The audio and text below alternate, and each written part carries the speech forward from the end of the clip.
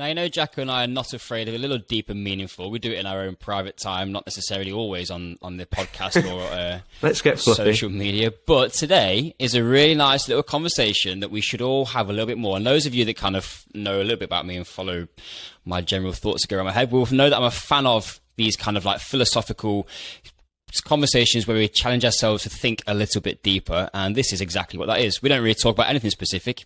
Um, because that's the whole point of philosophy, Jacko. You don't have, there is no specifics. You can just talk about whatever you want. We, we go wide and we go deep simultaneously, if that's even possible. Um, this for me is one of those where it's like, if um, me and Tim lived in Australia, I feel like we'd hang out with Jack. It's friends. like that.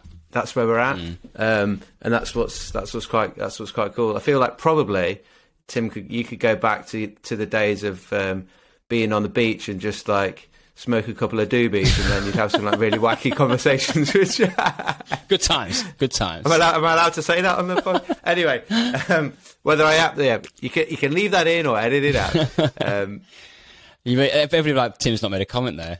I'm going to leave him guessing, Jack. I'm going to leave him guessing. Um, before, right, we're going to get into the podcast in a second, but before we do that, we need to tell you about Black Friday. Black Friday is on. As if you, like, if you, the only ways you don't know that is if you live in a box these days, because Black Friday is. I don't know if you know, Jacko. It's kind of a thing. Um, it is a thing. So we, no one even knows when Black Friday actually is because people have like plug it all month. We're not like that. We just we've tried to keep it to just a, a crazy amount. But what is crazy is the offer on our best programs, best and most popular. Well, they're all.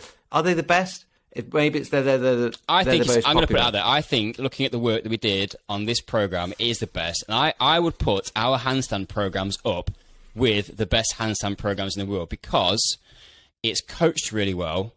Obviously, it's based on the scientific evidence of kind of going because skill acquisition is not easy, right? You're trying to learn something quite Yeah. complicated, and we properly did a job on this one. It's not just like here's 50 drills it might get you a handstand. We're like here's 10 drills that will get you a handstand, and I'm 100% sure if you put the time in, using our program, you will learn to handstand. So if that's been on your to-do list for forever or only just recently, there is probably no better time to get the world-leading handstand program at a reduced price. Yeah, so it's fifty percent off. They're normally ninety nine quid, so you get it for forty nine quid. Which I think, if you do the math, it's probably slightly more than fifty percent off. But it's just the way the thing. So anyway, you- you're all good for forty nine quid. That gets you. You buy it. It's, not a membership or anything. like that. It's forty nine quid. You get the uh, the program for lifetime access to all of that. And if you are uh, going for the frog to handstand program, so there are two programs. The frog to handstand is about building up the strength and the control. The learn to handstand is about the fastest way into getting into your handstand. Um, there is assessments to track uh, where your starting point is. There's assessments all the way through to track your progress. You've got support from the online community of other people that are uh, following all of our programs. And also, obviously, us as the coaches, me, Tim, the rest of the coaching team, uh, they're on, on the online platform that you get to interact with, ask questions, um, and yeah, support you along your way and your journey to learning how to handstand. So bag a bargain before the offer ends 31st of November. So bag it before the end of the month. 49 quid. Whichever one you choose, maybe even want both. You can work through them at different times. You, you maybe you work on learn to handstand first, and then you're like, I'll have the strength later. Um, up to you. Get out there and learn something cool. Um, Code is Black Friday in capitals. do you know? Capital letters, baby. Do you know what we've done? We've got this far through the intro. We've not even said the guest name. It's Jack White from Attuned. um, and No, we're well, it's philosophy. You just got to. You gotta roll with it. Matter. There's no rules. Do we even have a name? Am I even Jacko? Well, he's introduced himself in a minute, so you can find out all about him. We can listen to a really nice, little reflective conversation. Enjoy Jack White on the Movement, Strength, and Play podcast. Roll that jingle.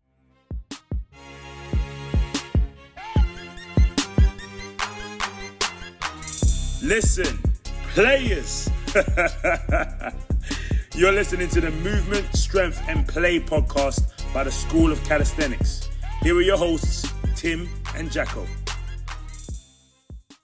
Jack White, welcome to the podcast. How are you doing, buddy? I'm well, thanks, mate. Thanks for having me on. Uh, we're uh, we're excited for, for this conversation to go to potential. We like me and Tim every now and again. We like we like to go we like to go and take a bit of a deep dive. I like to go deeper and get a bit uh, get a bit personal. So I'm excited to go to potentially um, some new depths with you for for the for the, maybe the one listener of the Movement Strength and Play podcast that for some reason hasn't come across you on Instagram, doesn't know who you are. Uh, for for that idiot, would you give us a bit of an intro um, as to you know what is Jack White, what is Attuned um, about? Um, because we're looking at this sort of uh, marriage of philosophy and strength training or movement, which I think is uh, yeah, it's a, it's a fascinating one. Yeah, yeah, it's it's been a trip for me. It's it's a beautiful world to explore. Um, really, where I'm sitting at the moment is helping people understand their bodies, to heal their bodies through movement, and then obviously progress towards a kind of strength which is uncommon, fluid, real world, exciting. And alongside that, just using the whole practice of training to really go deep and get to know yourself in as many ways as possible. And that's where the philosophy uh, part comes in. And I kind of came across the blend, um, I guess by accident. Um, I was initially a philosophy student years ago at uni. That was my degree. And at the time, I loved strength training, weightlifting, a bit of calisthenics too. Yeah. Um, but I never made any connection between the two. It was very much like I have the head part of myself and the body part of myself. And I've got like the knowledge and it's book knowledge. And then I have my training, which is very physical. Um, and I think as I learnt, um, as I went through life, went through a few hardships, uh, relationships ending, or like my dad passed away at one point, um, injuries, things like this, I started to have to think about why I was training and what all that philosophy knowledge that I'd built actually meant for my like life practically. Right. So that's attuned. It's bringing it into the body, making it real. So, Jack, give us a little bit of a just bring that to life a little bit for, for people that are listening. So, um, let's talk about like where do you, you can start on either way. How does that look at look from a philosophy perspective coming into movement or movement coming into philosophy? Like, just give it. What does your training look like, and how does this how does this kind of like blend? Really, yeah, give people a bit of a mental picture about how it how it kind of all clicks. Mm, yeah, sweet. So, um, from the movement coming into philosophy side it could mean considering what training gives you. So, like, what is it that it's filling within you? How is it enriching your life? Um, when you're moving, when you're doing an exercise, perhaps when you're approaching a session or even a particular rep of an exercise, how are you approaching it? What are you looking for from it on a technical level, um, within your program? What level is it giving you a particular emotion that you might be looking for? And how is the way you execute that one tiny piece reflective of how you want to live on the broader level? Um, and when you go back from the philosophy angle, it's basically like if you learn a new idea, um, then it's trying not to leave that new idea at the conceptual level. It's trying to actually chew on it, understand it, put it to use in your life, and digest it before you then go and hunt for more and more new ideas. Yeah. Uh, there's um, there's something for me around this, and it's one of the reasons why I wanted to uh, to talk to you uh, as well. Of like, and, and shout out to a, friend Sarah Moore who's uh, put us put me put me onto you. And one of the first things I come across with, with your um, content was like um, some handstand work, um, but rather than just sort of putting across the same relatively like teaching points that everyone's doing to some degree, or just you know people teaching slightly. But it was it was the you were you were coming at it from a completely different angle, and I was like, okay, this is this is this is interesting. And um, my and, and, me and Tim have been on a, on a, a, a, journey since we finished. Used to play like rugby, um, where your philosophy and idea of your body and training is very different to then how we think about it now. And I went through a transition over a number of years of like, you know, when you're playing rugby, you're just trying to be the best you can be, and just, you have to hammer yourself to get better, and you've got a coach pushing you, and all the lads are pushing you. It's all push, push, push, push, push.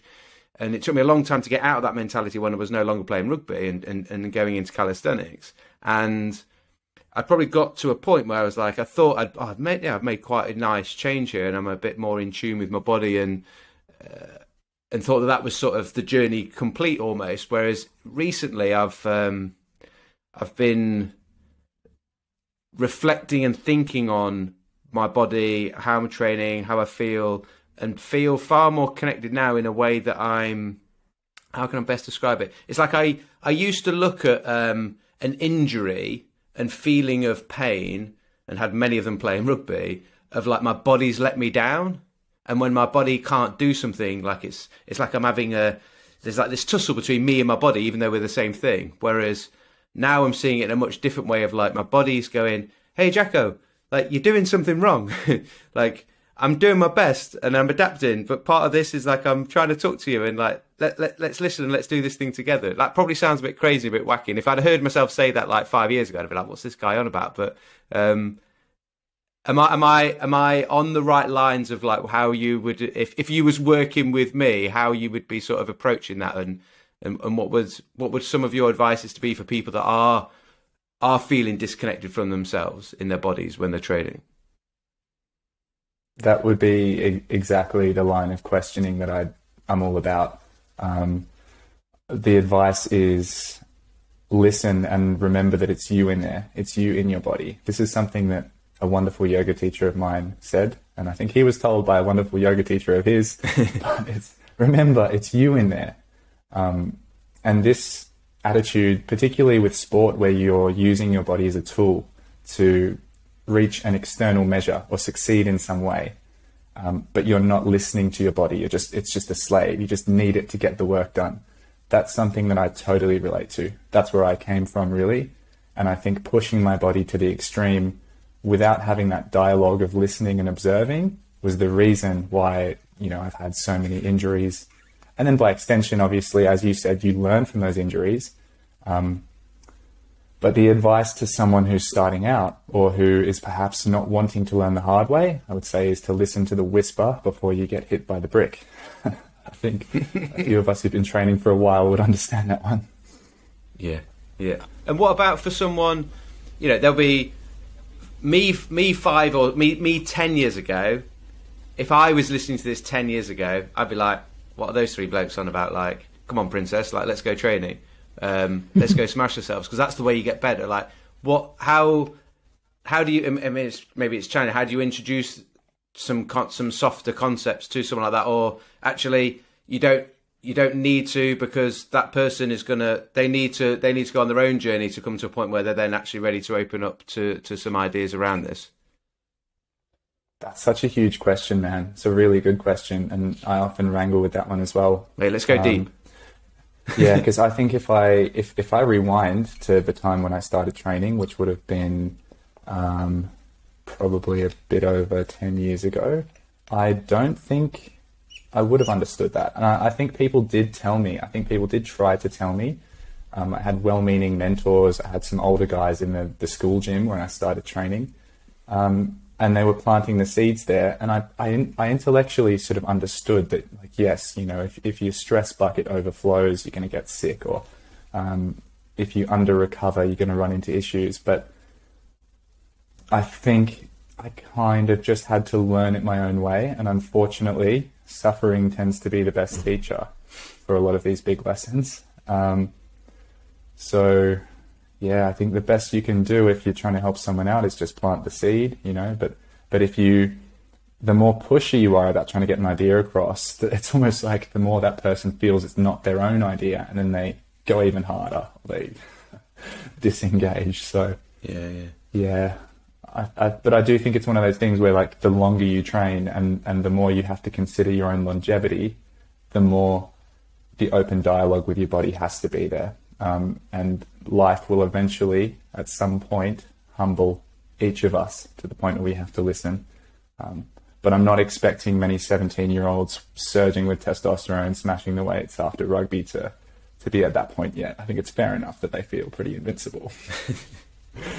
Let's talk a little bit, Jack, about. Um, I think from my experience as a strength and conditioning coach working with athletes um, over a decade of, of get behavior change.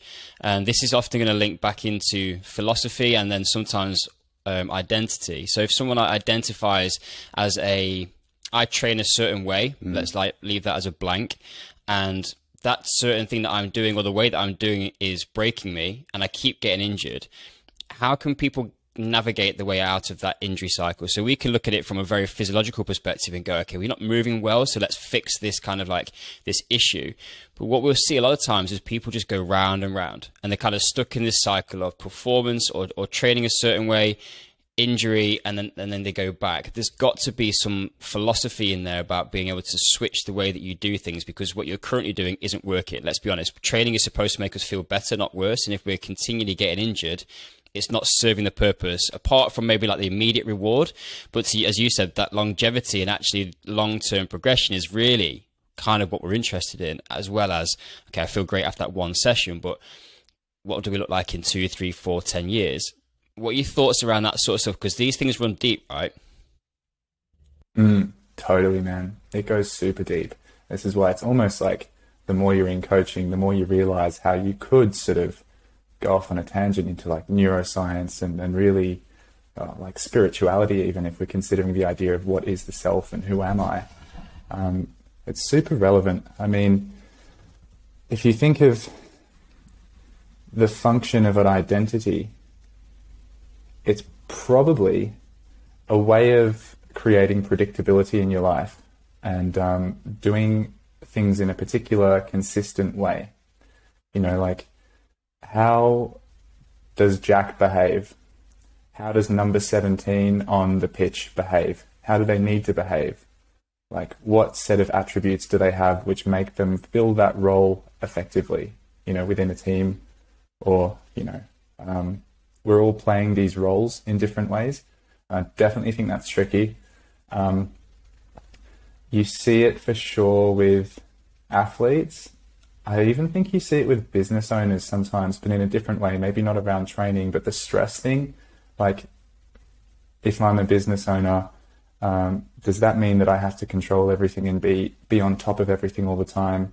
Um, and if that's how I started, and I then progress to the point where I need to relax and balance my life a bit more, how do I remain a business owner, mm. but change my relationship with the business?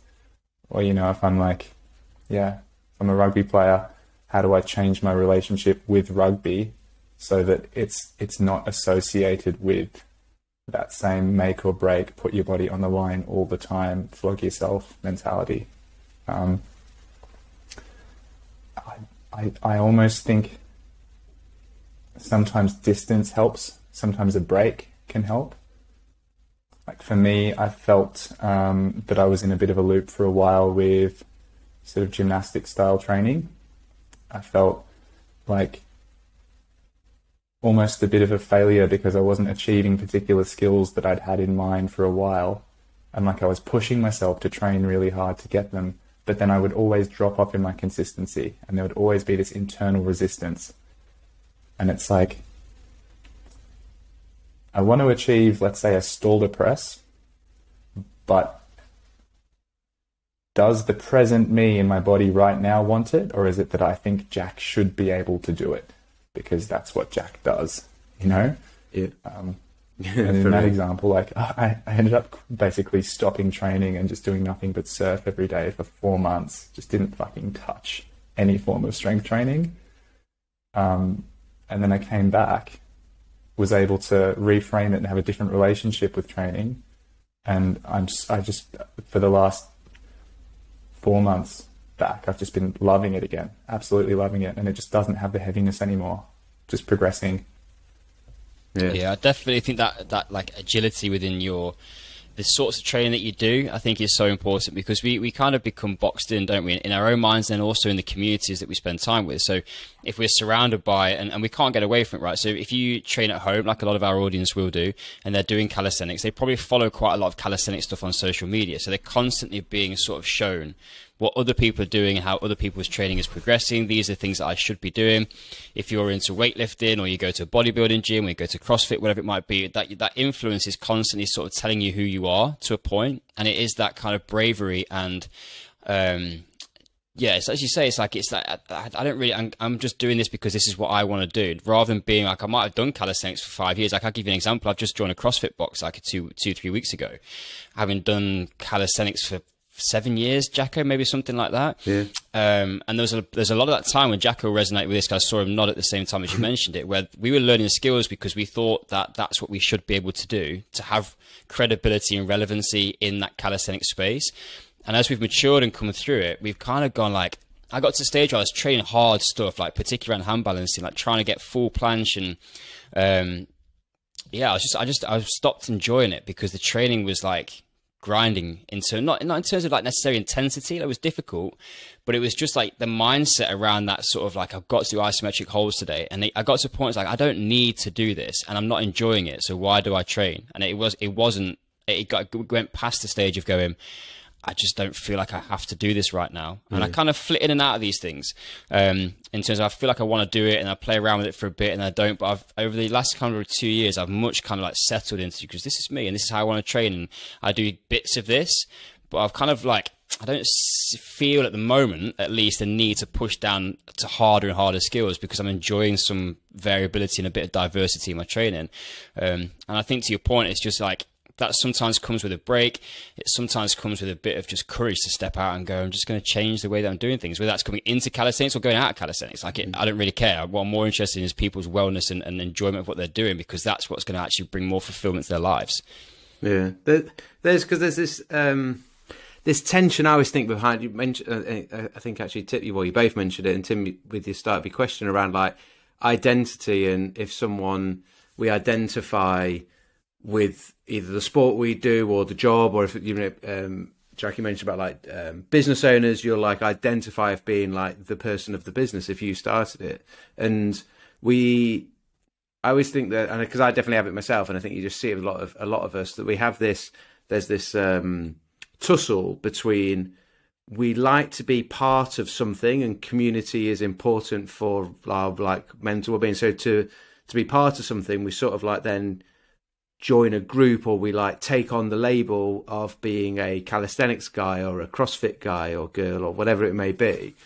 And then at the same time that which then makes us feel part of something which is good at the same time it then sort of like can make us feel like we're then oh, I'm, I'm then in this box.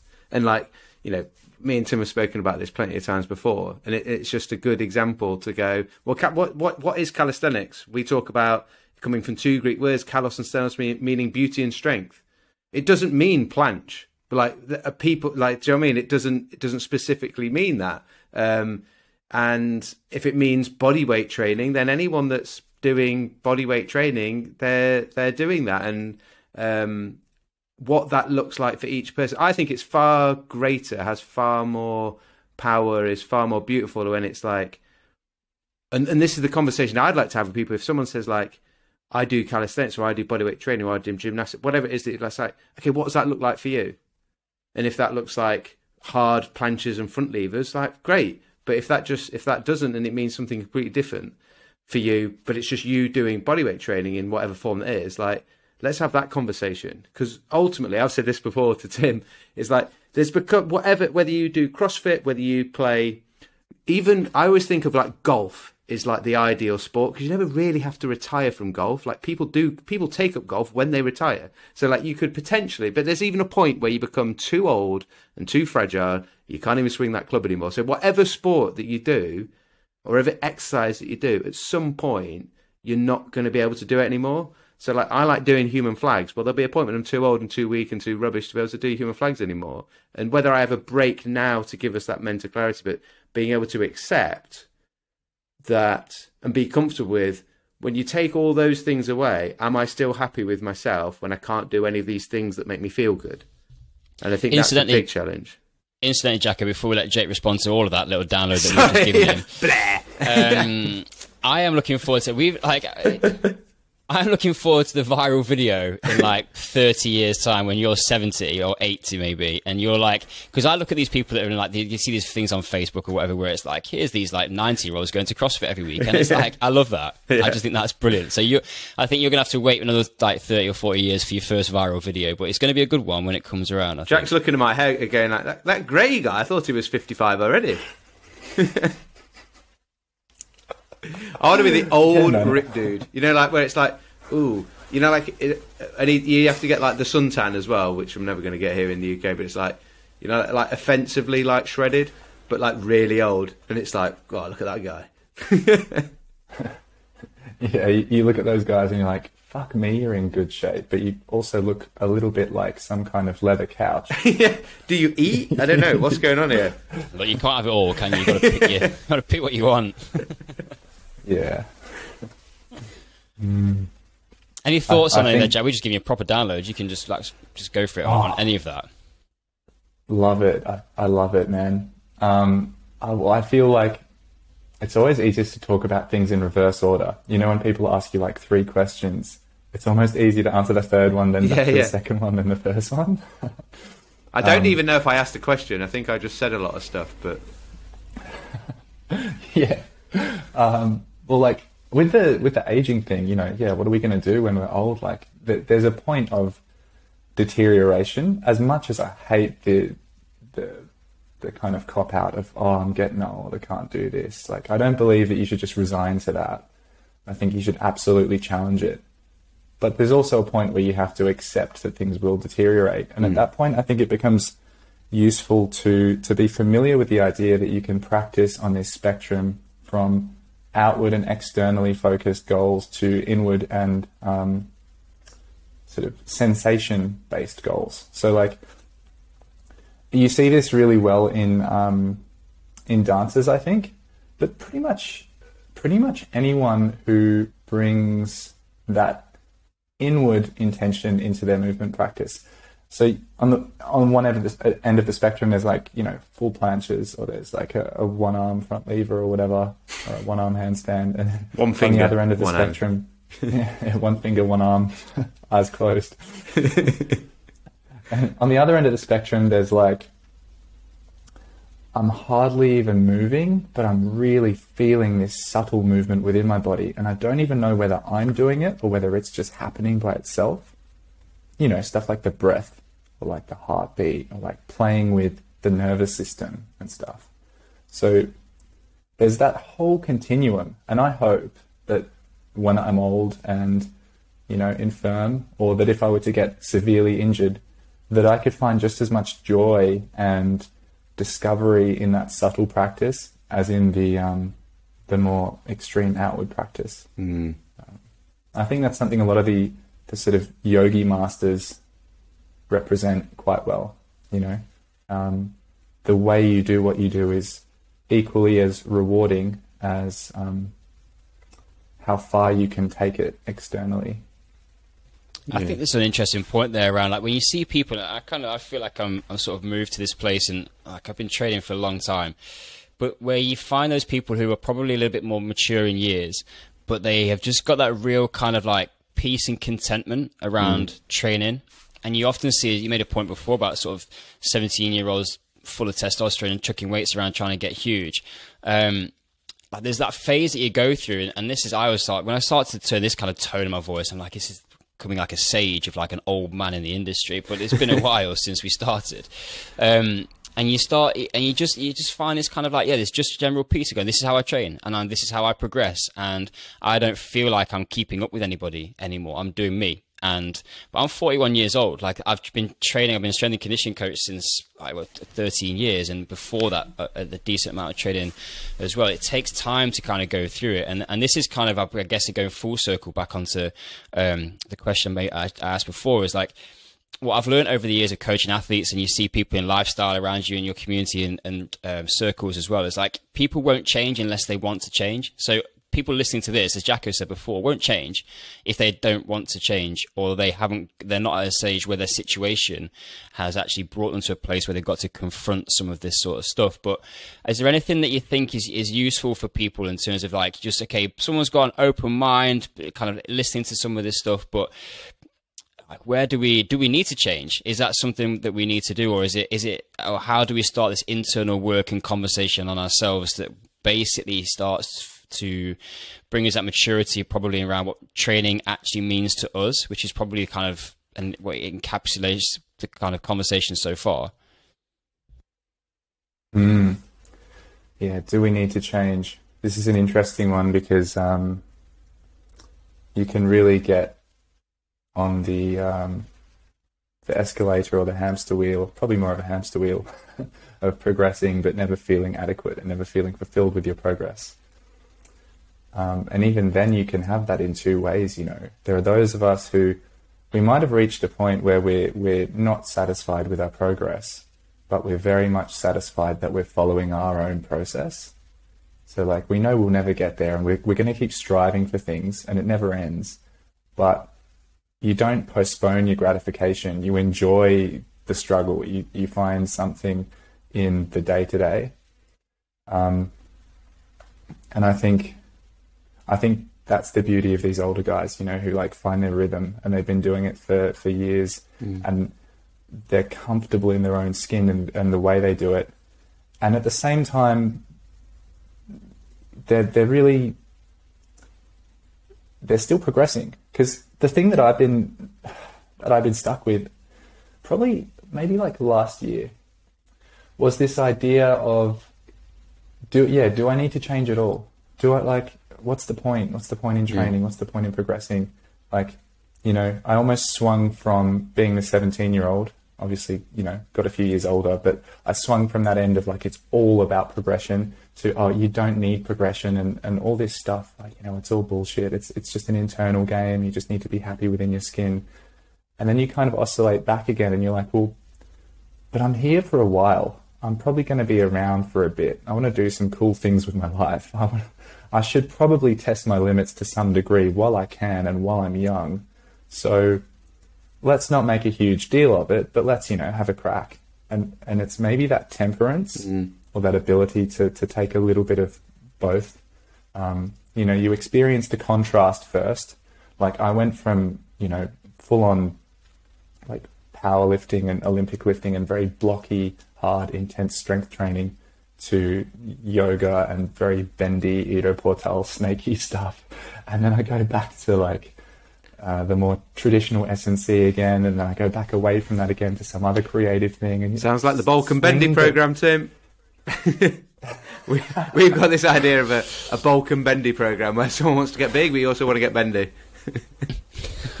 Which started off as a joke, but it's actually something I'd like to do.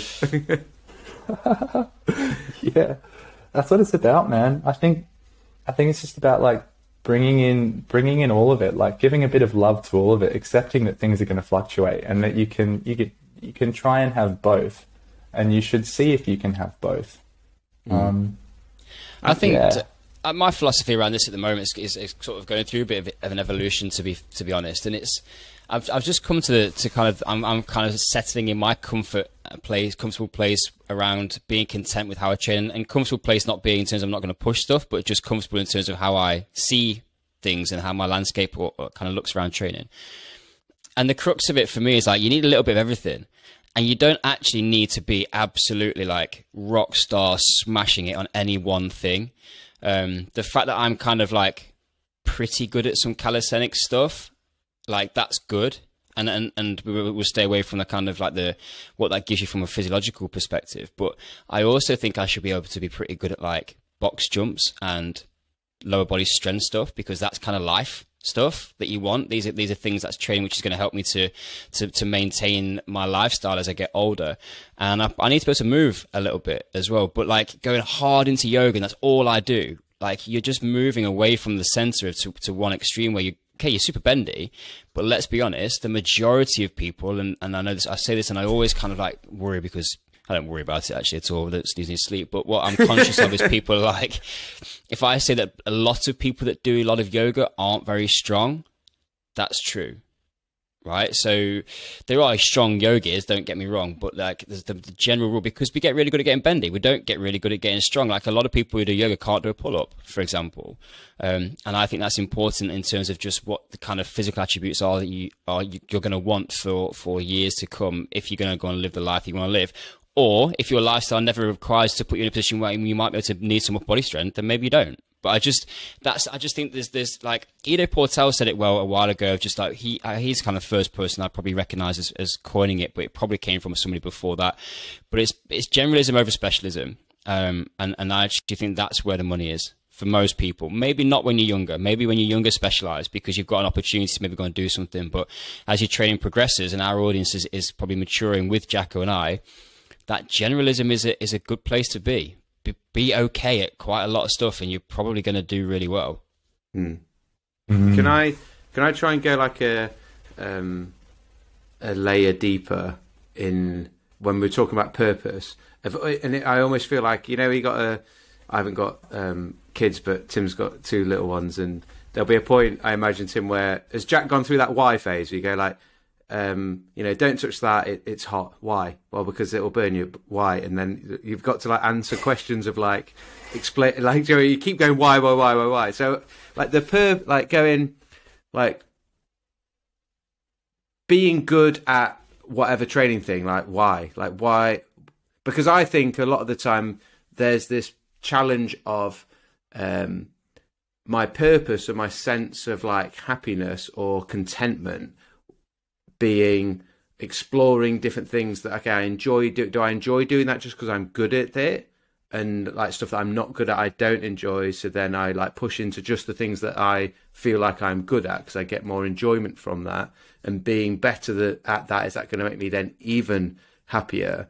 But my purpose has surely got to be like my purpose in life has surely got to be wider than that and that's why when we get like really really good at then our thing in training that might be one of the most might be the most one of the biggest things in my life for a lot of people um, we um, we still then feel not content and not actually happy even though we've completed the thing because in actual fact it's just a bit of a mirage around it's not the, it's not giving you that purpose where do you where yeah. do you how when you're talking about the philosophy side of things? Like I've got no I've got no formal training at all in that whatsoever. It's just like my own crazy mind going bonkers. yeah, I don't think you need formal training, man. I think that just watching the crazy mind and having good conversations is like the highest form of philosophy. I reckon it's just fucking shit talking. You come up with profound stuff when you talk shit. It's amazing. Like, um, yeah, it shouldn't just be for books.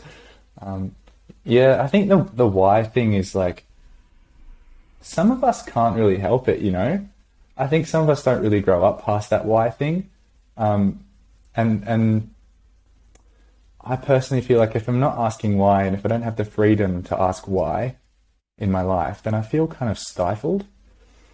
But at the same time, I can kind of infinitely regress into more and more and more why questions and overthink to such a degree that like I forget that you know there's enough meaning in just kind of feeling what is just just you know being with it. You don't have to understand it to enjoy it kind of thing. Mm. um, well I think about that too is like just riffing with this idea. When I'm when I'm asking why I'm often if I'm intellectually asking why, it feels like it's coming from up high in my head. It feels like it's very sort of calculating, analytical.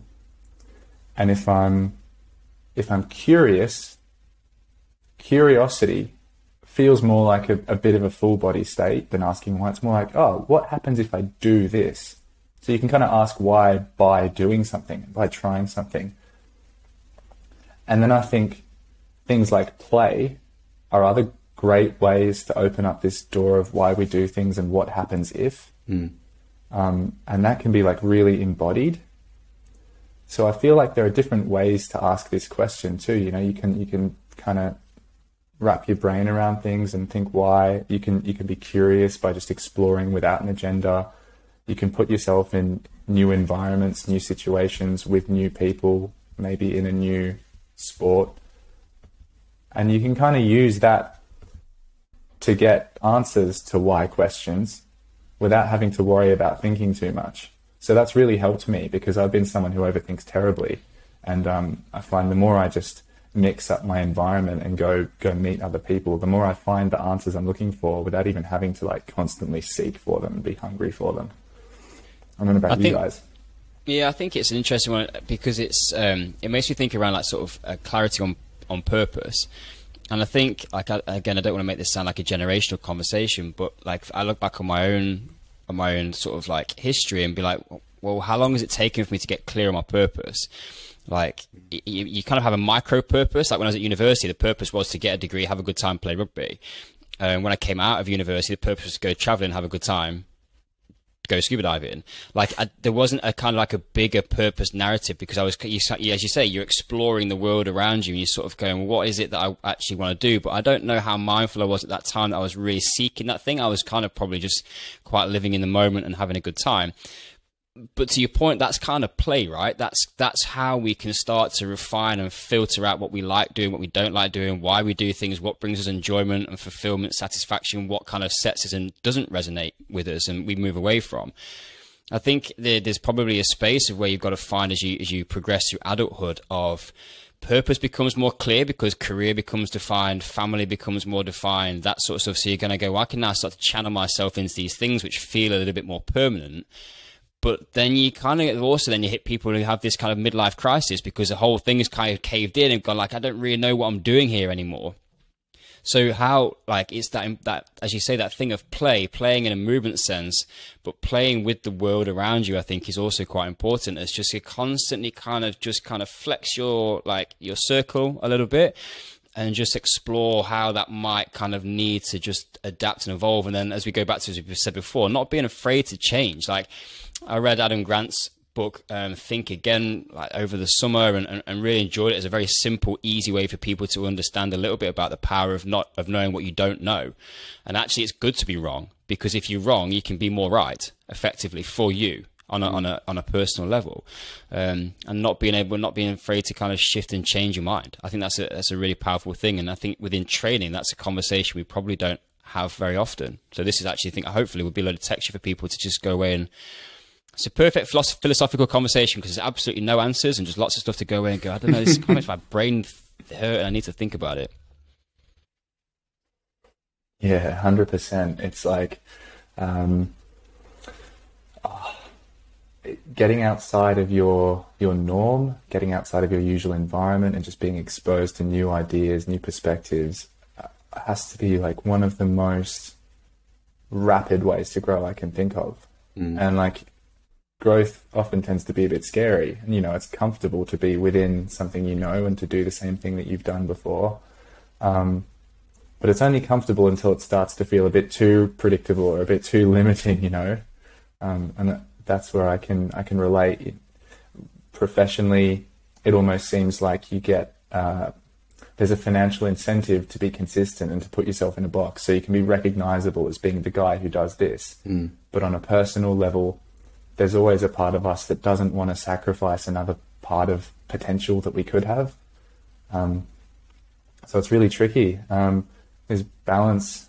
I, am always playing with it, trying to figure it out. I, I don't know if I ever will, but there's balance between willingly um, sacrificing things and saying no to things so that you can really dive into being good at one thing or just do good work in one field and at the same time stay open enough in what you interact with and who you interact with mm. that you leave the door open for change and growth. Yeah. I, I find it, um, I'm going to blow smoke up your ass now, Jack, but um, so some people are, some people are, uh, like my wife is very uncomfortable at taking, um, uh, taking praise. So uh, we'll see if you feel uncomfortable. But I, I, um, it's just so refreshing to have a conversation with someone where um, just very openly going like, well, I ain't got figured out. We we may never have it figured out. I Haven't got all the answers. No, some stuff that can help you if you you know if you want to go down that line, and we'll we'll explore that together. Um, I'm not gonna fix you if you're injured.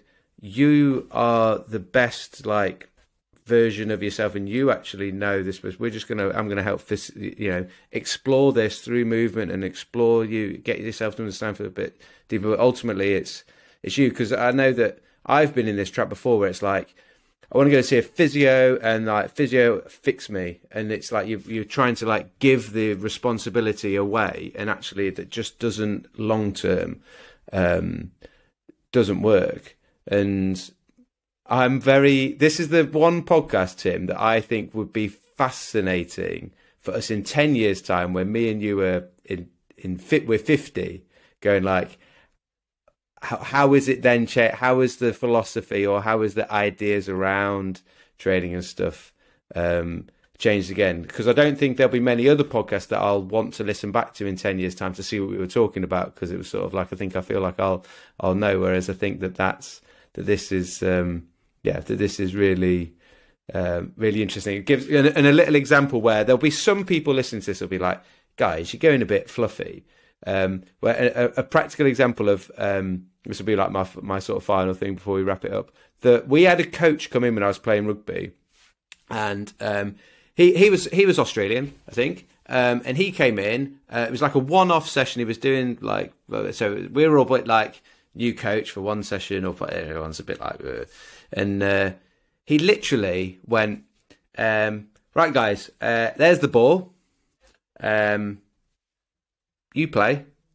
And we were like, well, what's the drill? What are we doing? He was like, whatever you want. And we were like, well, where are we? Where's the, what's the pitch? He was like, you decide. And we were all just like, well, this is rubbish. He don't know what he's talking about. Like, he hasn't given us any coaching. Duh, duh. Like, I remember just thinking, like, what is this? Is just absolute garbage. But because we were like, being conditioned to like tell me the rules, tell me the constraints, then I'll try and play the game that basically I already know how to play it. Rather than he gave us freedom and we literally couldn't handle the freedom. And I feel like that's what this conversation's been a bit like for me. There'll be people that will listen to it and go like, they can't handle the freedom of like, you didn't give me the top three things I need to do for my handstand or the top three things I need to do to to stop being injured. Um, and that's that. I th- that's where I'm. Yeah, that's where I'm leaving this like being back in that place to be challenged again to go like take the freedom and like try to explore it. Unless I've missed the point. Nah, man. There is no point, Jackie. That's a beauty of philosophy. There's no my dad, point. He, actually, I'm sorry. I said I've, I've got one of. Them. My dad said that he had a, a friend when he was at uni doing a philosophy um, degree, and he had a, his the exam question. Sat down the exam hall. Apparently, the exam. I don't know if this this might be my dad talking a bit of like bit of spice, a bit of BS, and maybe this is like a classic story, and I've been led to believe my dad made this up or his his, his mate had this. But the the question on the philosophy paper was, um, is this a question? That was the question. Write, you know, write a write a, you know, write ten thousand words on that. And uh, he reckons his mate just wrote, "Is this an answer?" and then walked out. I love that. It, that might be might, might be BS. My dad might have had It's me one of those down like all year. university Yeah, stories. now, now everyone's Anyway. like, "Okay, you're an idiot." Anyway, yeah.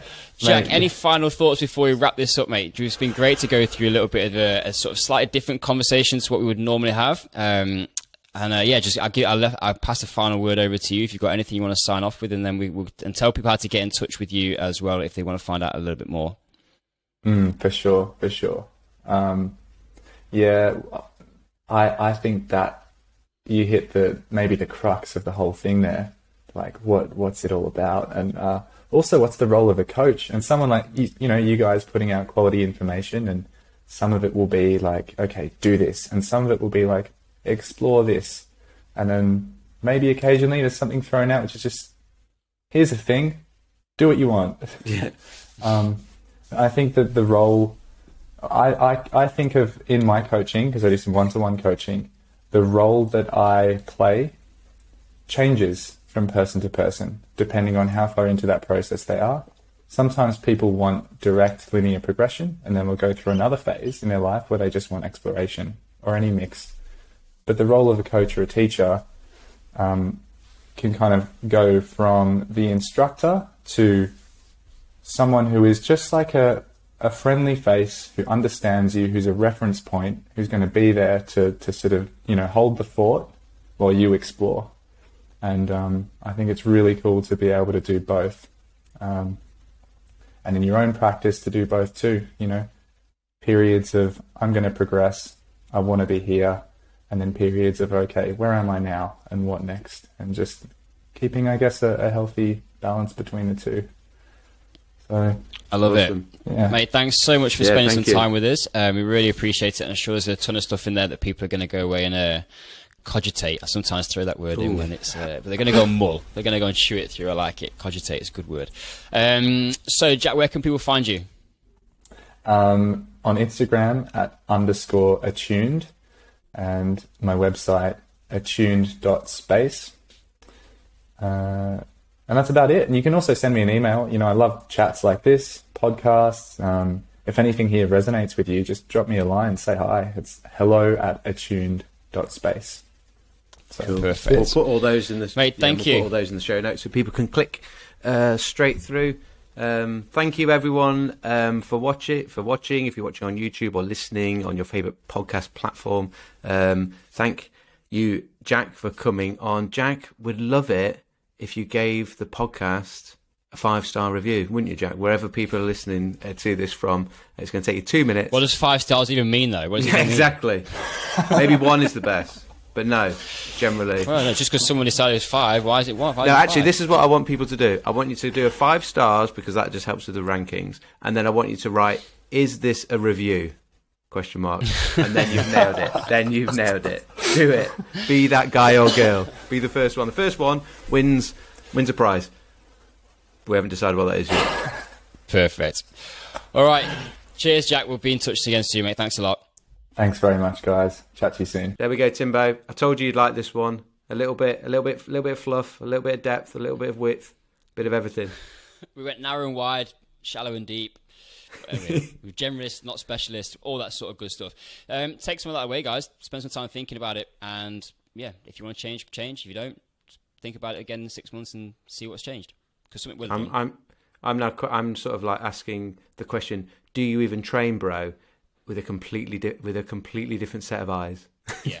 Yeah, no, there's lots to take away from that one. So enjoy it. Just as a reminder, our Black Friday offer is currently on. Go and buy yourself a handstand program. If you've got stuck on a plateau, or you're really struggling to progress your handstand, or you just want to get started, any of those problems that you're having, they're all dealt with in our coaching program for the handstands. And we've not just like a, it's not just a page of like 20 exercises. We actually explain the whole process. There's a little bit of education and learning into doing there, and that it builds on your your uh, actual understanding not only the handstand but also the philosophy of why you're doing what you're doing. See, great segue, Timbo. It's also you know it's literally it's broken down to modules, uh, sessions week by week. So you know you've you, have you have got the pathway there from literally beginner all the way into your handstand, and uh, the the code is Black Friday in capitals. Black Friday, fifty percent off. So rather than ninety nine quid, it is forty nine pounds. One off purchase, lifetime access. Get money back guarantee. If it don't get your handstand, you didn't like it, give you money back. I'm not bothered. Get involved. We know it's good. All right. Until next time, keep exploring keep, your. Oh, butchered it, Jacko. Until next time, you go. Keep exploring your physical potential and your philosophy around training through movement, strength, and play. I feel like the outros, we get into a stage where it's almost like keep exploring your physical potential through movement, strength, and play, and this other thing we just talked about. Anyway, we'll, we'll, talk about that. That's offline brand meeting. Krastismest.